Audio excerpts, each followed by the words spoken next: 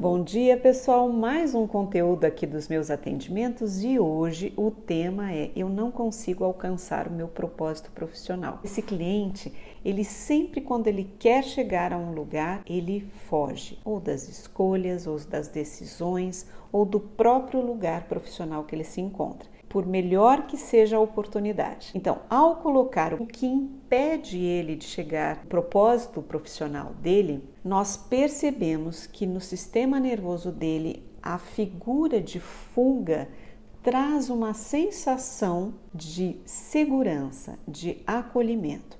Portanto, como nós nos condicionamos na infância com os nossos pais e cuidadores, ele se torna adulto com esta informação no seu sistema nervoso. Através da terapia sistêmica, nós olhamos para as dores dessa criança, para esse condicionamento, aonde a origem deste padrão, ressignificamos e criamos uma nova rede neural, isso é, um novo senso de orientação para que ele possa ir em direção a esse propósito. E muitas vezes Ir para o novo, para algo que não é conhecido, pode nos trazer uma sensação de desconforto, mas porque nós estamos saindo da nossa zona de conforto. E muitas pessoas desistem do seu propósito porque acreditam que, pela sensação, não é o caminho certo.